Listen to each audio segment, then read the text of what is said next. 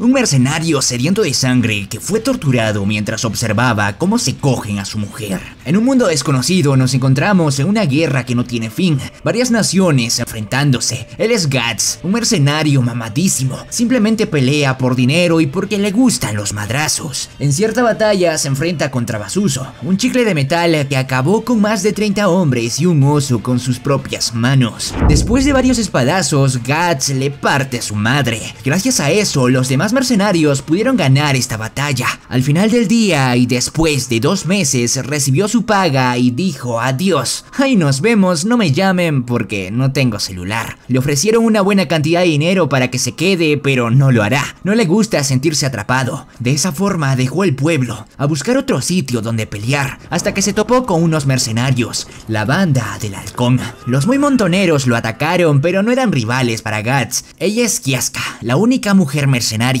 o la única que veremos. Tampoco es rival para Guts, y cuando estaba a punto de ser exterminada, aparece Griffith, un papucho con cabello blanco, carita de ángel y pito de oro. El más chingón de todos y de una sola estocada derrota a Guts. Es donde vemos el pasado de Guts. Pasó por muchas cosas, hasta abusaron de él. Básicamente su vida fue una completa mierda. Pero de eso ya hablaremos en otro resumen. Dale a me gusta. Pasan los días y Guts por fin despierta. Griffin, pito de caramelo, le dice que esté a su lado, que forme parte de los halcones. Guts arriesga su vida con tal de superar sus límites. Siempre hace todo lo posible para ganar. Eso le agrada a Griffith y es por eso que quiere que esté a su lado. Pero Guts le vale madres y no permitirá que este blanquito le diga qué hacer. Se dan de espadazos. Guts la tiene más grande. De hecho, la tiene recontra grande. Pero el tamaño no importa importa cuando te sabes mover. Y Griffith es experto con su espada. Aún así Guts le muerde la espada. ¡Eh, árbitro! Eso no se vale. Movida inválida, perro. Mordiendo la espada del rival. Muy mal, muy mal. Ya no respetan las reglas. Bueno, ahora Guts le está dando unos buenos golpes a Griffith, pero el resultado es el mismo. Delante de los halcones, Griffith revierte la situación y le disloca el brazo, ganando esta pelea y le dice...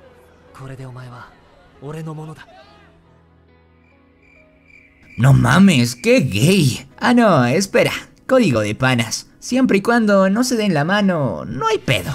Oh, hola, Oni carnales y anime joven, ¿cómo están? Yo soy Goedi y este es el resumen de Berserk en unos minutos. Todos los halcones detestan a Guts, uno más que otro, sobre todo Kiaska, ya que este está recibiendo un trato más que especial de parte de Griffith. Demasiado especial diría yo. Este blanquito quiere convertirse en el rey, es por eso que formó a los halcones. Cada uno de ellos están dispuestos a dar su vida por él. Es más, él decidirá el lugar que será la tumba de Guts. Han pasado tres años, la guerra de los 100 años continúa. El reino de Midland se viene enfrentando contra los carneros negros. Estos son imparables. El rey no entiende por qué nadie puede contra ellos, hasta que los halcones llegan. El primero en asomarse es Gantz. Este desgraciado quiso enfrentarse él solo contra los carneros, pero sus compañeros terminan ayudándolo. Una victoria más para el reino. La banda de los halcones empieza a ganar fuerza y los nobles empiezan a hablar de ellos. Pero como son mercenarios, uno que otro noble los menosprecia. Pero el rey sabe lo tan importante que ahora es esta banda. Los halcones festejan la victoria.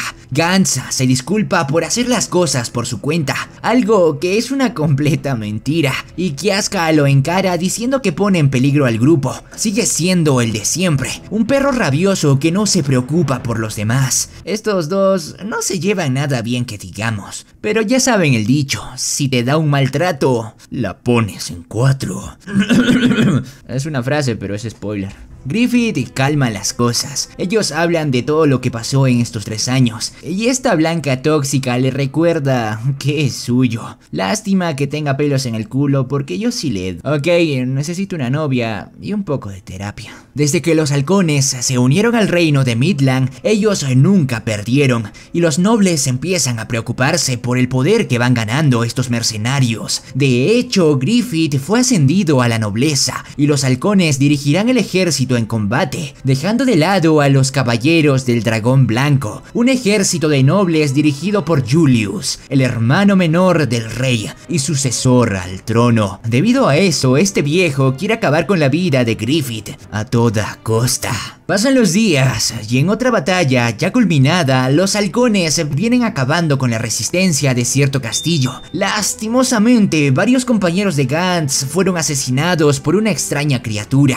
Este se emputa y entra a ver qué chingados está pasando. Se trata de Sod, el inmortal, un guerrero legendario adicto a los enfrentamientos. Siempre va en búsqueda de un digno rival, y Gat sería uno de ellos. El espadachín negro logró cortarle el hombro, algo que podría ser bueno, pero no todo lo contrario. Sot se transformó en una bestia enorme y le parte su madre a Gantz. Los halcones llegan para ayudarlo, pero de nada sirve. Varios camaradas terminaron destrozados. Griffith ayuda a Gantz, pero es inútil. Nadie es rival para esta bestia. Sot empieza a sentir lástima por haber encontrado a dos guerreros que fueron capaces de hacerle daño, y ahora tendrá que matarlos. Y cuando estaba a punto de exterminar a Griffith, se percata que este lleva colgado el Bejerit, un objeto muy importante del cual hablaremos más adelante. Pero amigo, no te imaginas lo que se viene. El destino es algo que no se puede cambiar. Y Sod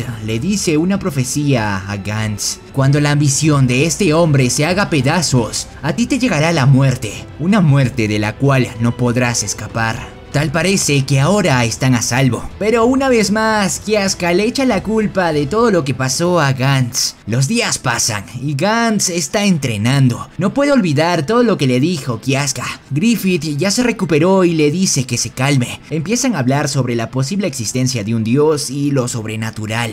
¿Y qué chuchas es el Bejerit? Una vieja divina se lo dio a Griffith cuando era un niño, diciéndole que el que lo lleve estará destinado a gobernar el mundo pagando con su propia sangre. Es donde aparece el rey y varios nobles más, incluyendo a su única hija. Esta pendeja casi se cae y Griffith logra evitarlo, pero recibe una bofetada de Julius por haber tocado a la princesa. Más adelante empiezan a hacer una especie de actividad de caza. Los halcones están haciendo la guardia, algo que no le gusta a Gantz. Este blanquito pito de chocolate se acerca a la presidenta y empieza a conquistarla con una hoja. Hmm, no lo había pensado. Le das una hoja y ella te afloja. Hmm. El hijo de fruta de Julius continúa con sus intentos para acabar con la vida de Griffith, utilizando a la princesa como distracción. Estuvo a punto de matarlo con una flecha envenenada, pero afortunadamente una vez más es salvado por su vejerit.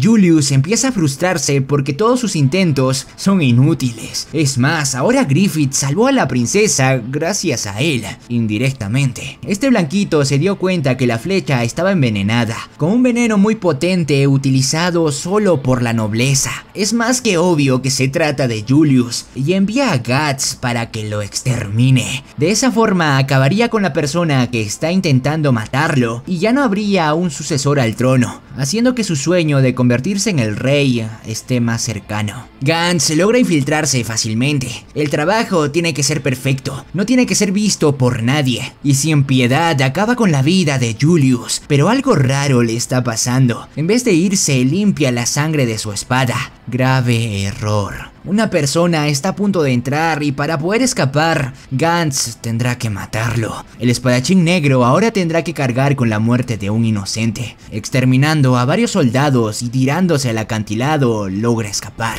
Él está malherido y confundido. Quiere darle la noticia a Griffith, pero este estaba conversando con la princesa. Aún así no le importa, pero es detenido por Casca.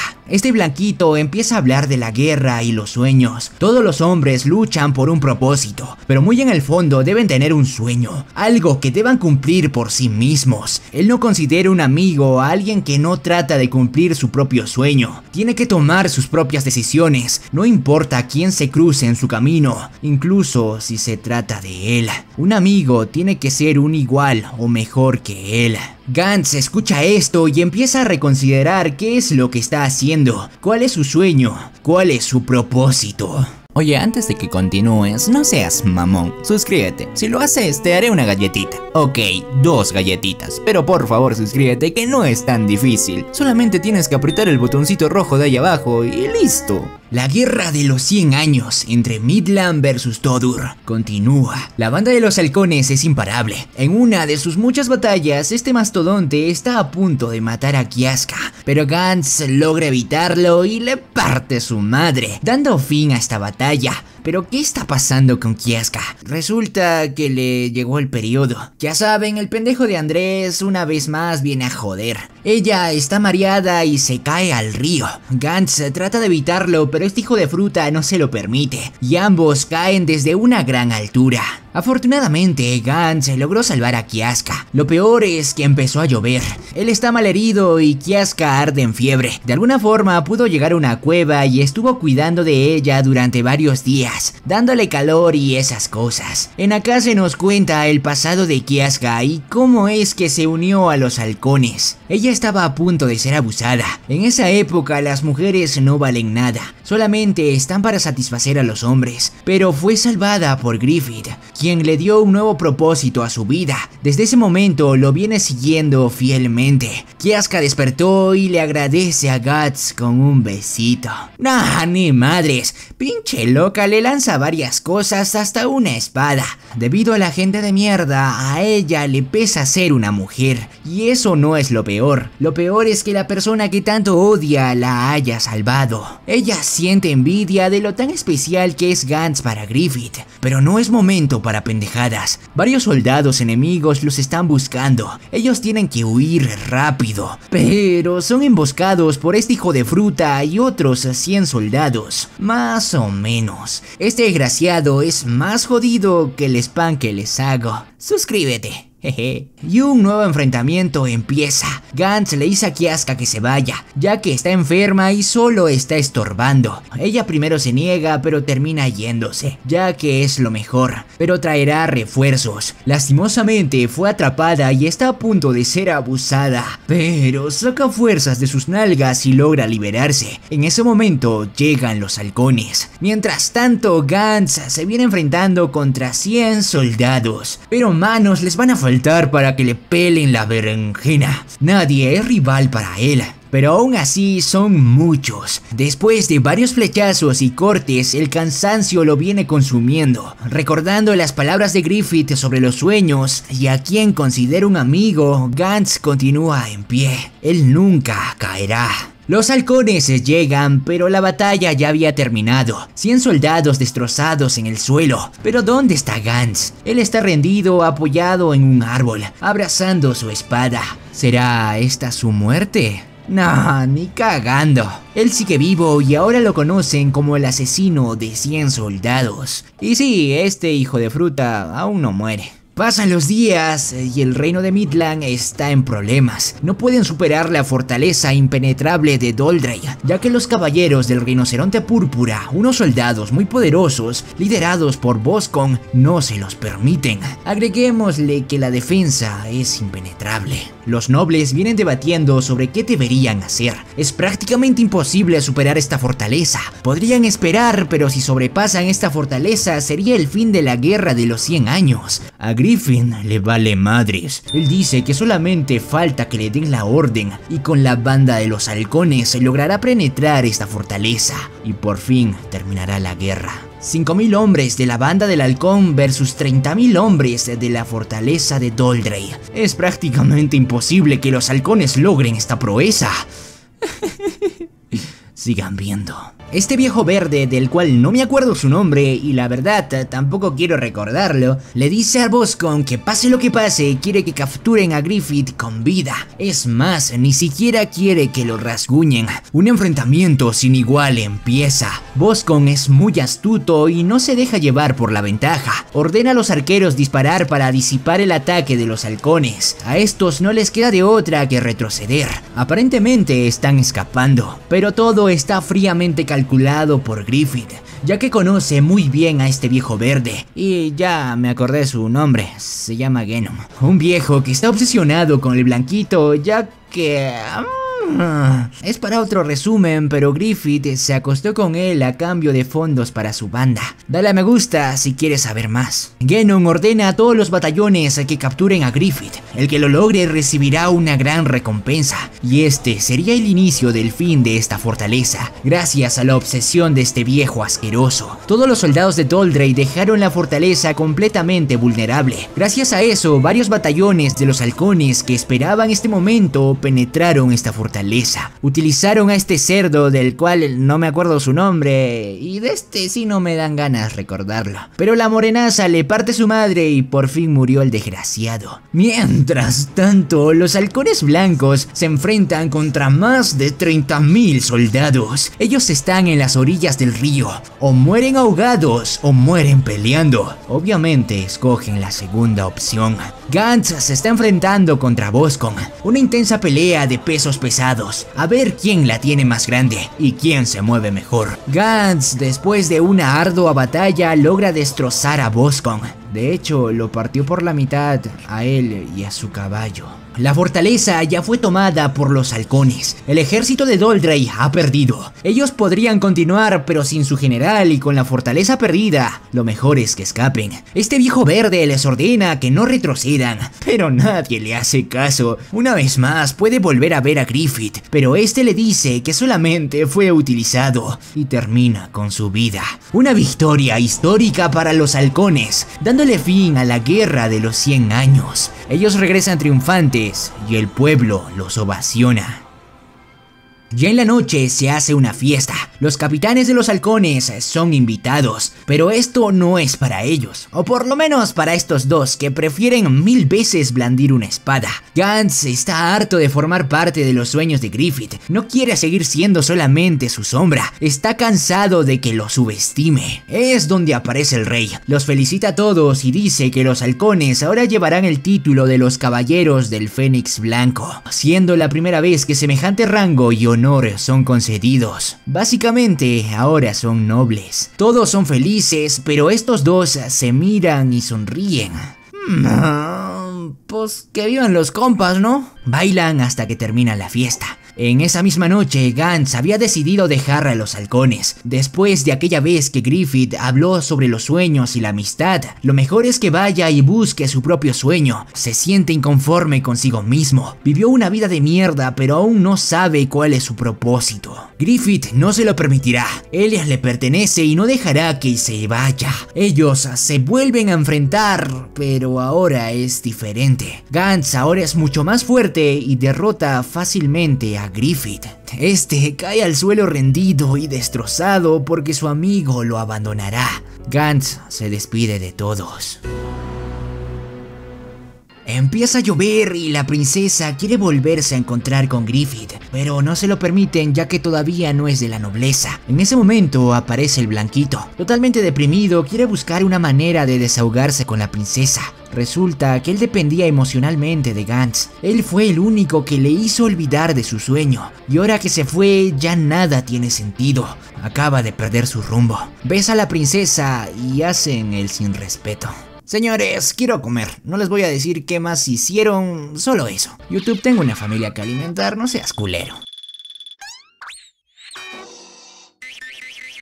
Al día siguiente, Griffith no pudo superar la pérdida de su amigo, y una vieja chismosa le avisó al rey todo lo que pasó. Varios soldados lo arrestaron y lo llevaron a lo más profundo del reino. En aquí fue azotado por el rey. Este blanquito, en vez de callarse, le saca en cara que le quitó a su hija. El rey era un maldito enfermo que la quería solo para él. Ya saben a lo que me refiero. Pero esto no termina acá. Este enano panzón lo torturará durante mucho tiempo. Mientras tanto, los halcones fueron sentenciados a muerte. Una gran cantidad de flechas caen sobre ellos. Yaska, quien quedaría como capitana general, dirige a los pocos sobrevivientes a luchar por su vida. Oye, ¿no te gustaría gozar de los beneficios que te brinda este humilde canal? Elegir el siguiente resumen, ser saludado en todos los videos, stream privados, entre muchas cosas más. ¿Qué esperas que no te unes a los miembros? Podrás hacerlo picando al botoncito azul de aquí abajo. Tenemos precios para todos los bolsillos. Muchas gracias por tu apoyo. Toma tres galletitas. Ha pasado un año, distintos acontecimientos vienen sucediendo, criaturas extrañas han aparecido, los halcones lograron sobrevivir y están siendo liderados por Kiaska. Ella está buscando una forma de rescatar a Griffith, hasta que unos extraños empezaron a atacarlos. Una gran cantidad de soldados enviados por el reino los emboscaron.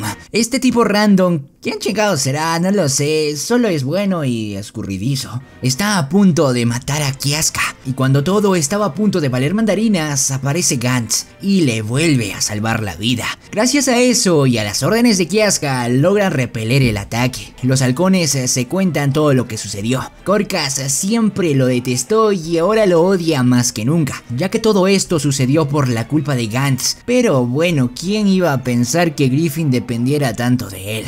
Aunque viéndolos de cerca y recordando todo lo que pasó... Ah, códigos de pana supongo. Comparte este video con tus compas. Si llegaste a este minuto, le debes una salchipapa a tu compa. Kiaska también está emputada y una vez más le echa la culpa de todo a Gantz. Él fue el responsable de la caída de los halcones. Todo sucedió porque se fue. Griffith lo necesitaba. Pero Gantz solamente hizo lo que Griffith quería, pensando que sería lo mejor para todos. Kiaska está harta de todo, no puede ser la espada ni tampoco la mujer de Griffith y quiere tirarse al río. Y otra vez Gantz le salva el trasero. Ella le pide ayuda porque ya no sabe qué hacer y se besan.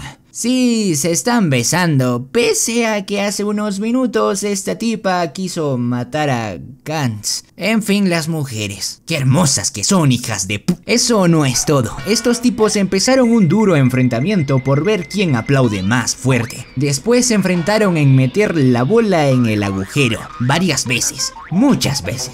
Pinche Gantz, la vas a matar, perro. Ya saben a lo que me refiero. Pinche YouTube. Gantz le dice a Kiaska que se venga con él. Bueno, ya se vinieron, pero ahora quiere que lo acompañe. Su futuro es incierto, pero si están juntos, nada los detendrá. De la nada todo se puso en tinieblas. Se trata del caballero de la calavera. Tiene otro nombre en inglés, pero no sé cómo pronunciarlo. Este le dice a Gantz que todo está a punto de irse al carajo, y la única forma de enfrentarse a la muerte es nunca rendirse. Pasan los días y los halcones por fin tienen información de Griffith. Inmediatamente se dirigen a rescatarlo. La princesa es quien los está ayudando a infiltrarse en lo más profundo del reino. Se dice que hace mucho tiempo en este sitio se ubicaba la capital del reino, dominado por el rey Calavera, pero Dios envió cuatro ángeles para que destruyera este sitio. Ellos lograron encontrar a Griffith, pero ya era demasiado tarde. Él seguía con vida, pero el costo fue demasiado alto. Este enano panzón hijo de fruta lo torturó durante un año. Primero le cortó los tendones de sus extremidades para que no pueda escapar. Después le tiró agua hervida despellejando su cuerpo. Y entre muchas cosas más. Lo hizo con cuidado de que no se muriera para que siga sufriendo.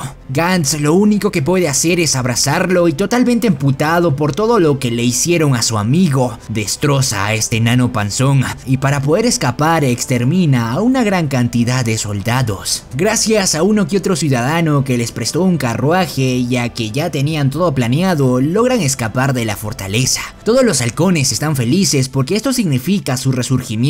Con Griffith son invencibles y una vez más volverán a la gloria. Pero lastimosamente no. Griffith nunca más podrá moverse porque le cortaron los tendones de todas sus extremidades. Tampoco podrá dar órdenes porque le cortaron la lengua. Básicamente está muerto en vida. Todos los halcones empiezan a deprimirse porque nunca más encontrarán un líder como él, que los incentive a pelear. La seguridad que él les daba los motivaba a siempre continuar. Kiaska es la más afectada, ya que es la líder actual, y no sabe qué hacer con todos los soldados, cómo darles esperanzas si todo está perdido. Ella también necesita a alguien que lo apoye. Varios soldados le piden a Gantz que sea su líder, ellos lo acompañarán a donde sea. Griffith es básicamente un bulto. Lo siento, no sé cómo describirlo, pero no puede hacer nada el tipo. Es más inútil que Chile queriendo clasificar al mundial. Todo tienen que hacerlo por él, Ahora Kiaska está cambiando sus vendas y empieza a llorar por lo débil que se volvió aquella persona que tanto admiraba. Algo raro pasa con Griffith. Antes de ser rescatado quiso ahorcar a Gantz. Después parece que lo mira con celo y ahora quiso abusar de Kiaska. O no sé, tal vez el enfermo sea yo, pero sabiendo lo que se viene, podría ser que sí. ¿Tú qué piensas? Kiaska le dice a Guts que no podrá acompañarlo ya que tiene que quedarse con Griffith. Él le dice que también se quedará, pero Kiaska no lo permitirá. Si él se considera un igual con el blanquito, si se considera su amigo, debe irse y recorrer su camino, alcanzar su sueño. Griffith escuchó todo esto y empieza a recordar sus ambiciones de cuando era un niño, aquel sueño de convertirse en el rey, poder alcanzar ese castillo tan lejano para él. Motivado por su sueño, logra hacer avanzar a los caballos para poder llegar a ese castillo, pero termina tirado en el río. Este se da cuenta que nunca lo podrá lograr y está a punto de suicidarse, pero no puede hacerlo y empieza a llorar. En ese momento se encuentra su vejerit, lo había perdido hace un año en medio de su tortura. Gantz y los halcones van tras él, preocupados por qué le pasó. De la nada, todo empieza a oscurecer, la luna está tapando el sol, un eclipse está a punto de suceder, el comienzo del fin está a punto de empezar. Todo está a punto de irse al carajo. Una gran cantidad de monstruos se asoman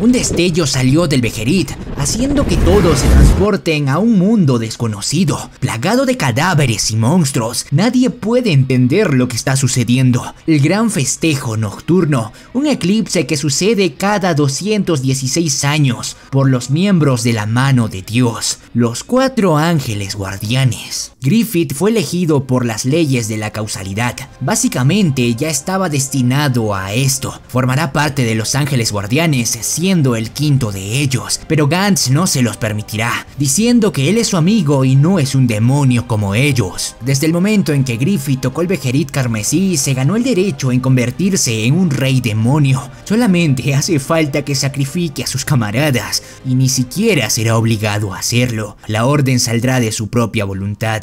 Es donde le hacen ver sus ambiciones, aquel castillo que buscaba alcanzar y todo lo que sacrificó para lograrlo, todas las muertes que ocasionó por el bien de su sueño. Muy en el fondo sabía que llegaría a este lugar, junto con todos sus pecados. Y no es momento para retroceder, ni siquiera para arrepentirse. Si no continúa, todos sus sacrificios serán en vano y nunca podrá llegar a ese castillo. Guts empieza a gritar. Griffith acepta que este tipo fue quien le hizo olvidar de su sueño, pero ahora ya no será así. Al final de cuentas lo terminó abandonando. Griffith sacrifica a sus camaradas. Momento después es encerrado y los halcones blancos son marcados con la estigma del condenado por toda la eternidad. Los monstruos se hacen más grandes y más feos. La masacre empieza. Los halcones son cruelmente devorados. Pippin se sacrifica para salvar a su capitana. No hablamos de él, pero fue un gran soldado desde el principio hasta su fin. Tampoco lo hice porque, pues, me daba risa su nombre. Pippin, no mames. Judo se lleva a su capitana.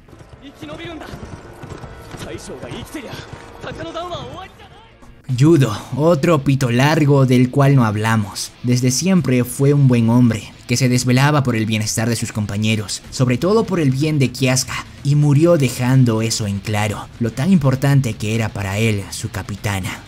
Gantz busca desesperadamente sacar a Griffith de su encierro. Con una sola cuchilla pudo derrotar a varios demonios que intentaron devorarlo. Pero no es suficiente, no puede sacarlo. Gantz cae a las profundidades y observa cómo terminaron sus camaradas, totalmente destrozados. El quinto ángel guardián acaba de nacer.